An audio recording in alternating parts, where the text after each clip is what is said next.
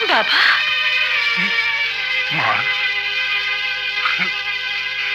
এইটুকু ছাড়া আমার এই বাড়িতে তোর জন্য বেশি কিছু করার ক্ষমতা নেই রে মা। এইটুকু আমার জন্য অনেক বড় পাওয়া। না অনেক না। মারি তুই তুই আমার একটা কথা রাখ। তুই এখান থেকে চলে যা।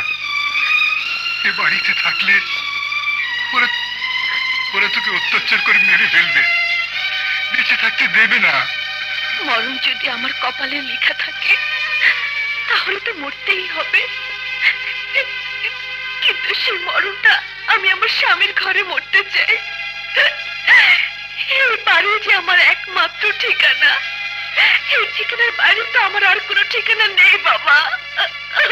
কিন্তু কোনো কিন্তু না। আমি এই বাড়ির বাইরে কোথাও যাব না। এখানেই থাকব। কিন্তু ওরা তোকে খেতে দেবে না। না খেয়ে মেরে ফেলবে।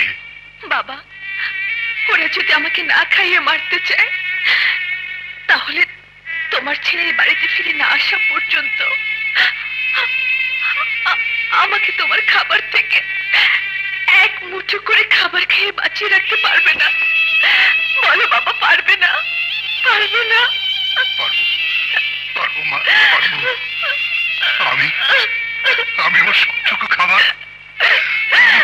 তুলে দিতে পারব মা, তুলে দিতে পারব।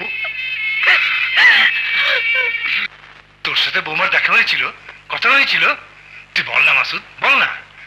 আমার কথা বৌমাকে বলেছিলি তো? বৌমা নিশ্চয়ই বারবার আমার কথা জিজ্ঞেস করেছিল।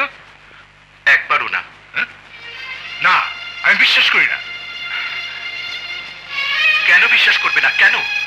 বিশ্বাস না করার মতো ওর প্রতি কি করতে পেরেছিলাম আমরা? কিচ্ছু না।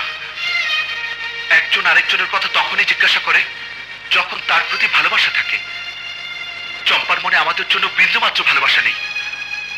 চম্পা বউ সেজেছিল স্বামীর ঘর করার জন্য, সংসার করার জন্য। কিন্তু ও কি পেল? চম্পা আজ এমন এক জায়গায় চলে এসেছে। হয়তো তার ফাঁসি হবে।